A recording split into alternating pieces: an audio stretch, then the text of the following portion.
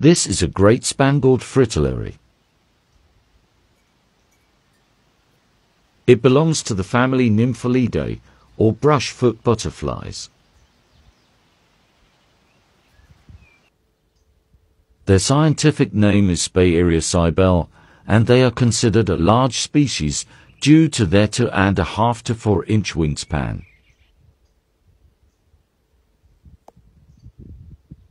They feed primarily on nectar and occupy most of the United States with little to no conservation required. Great spangled fritillaries usually inhabit wide open spaces like fields and meadows.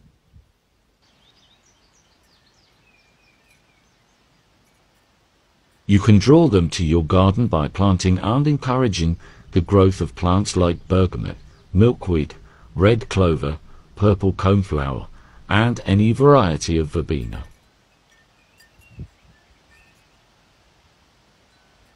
But they'd be happy with your thistle flowers too.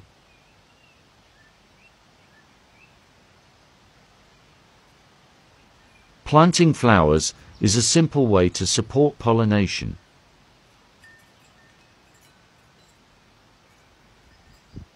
And that's good for everyone.